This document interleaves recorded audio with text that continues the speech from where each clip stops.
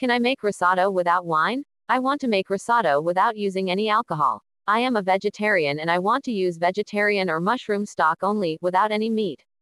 What is the role of wine in making risotto? Does it help in getting the consistency or does it add flavor?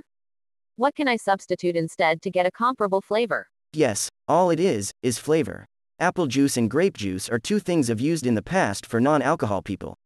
You can also get away with not using anything as a replacement as long as you use enough of everything else, butter and parmesan, etc. Wine just gives a little depth and a sort of freshness. Edit. I just read the vegetarian part of your question.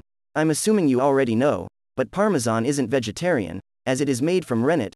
Rennet is extracted from the lining of the inside of the stomach of mammals, see link 1.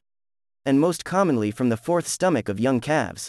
The vegetarian substitutes I've tried in the past, called pasta cheese, are not great.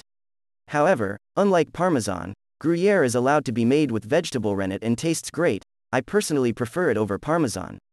I've made risotto plenty of times without wine, as it's not something that I typically keep in my house.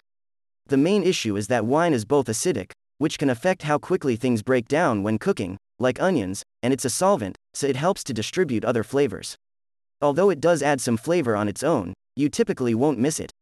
Personally, I just use extra onions, and sometimes add a splash of a sweet vinegar, rice, or cider, with the first addition of liquid. I don't use butter or cheese in my risotto, as I find that those can dull some of the other flavors.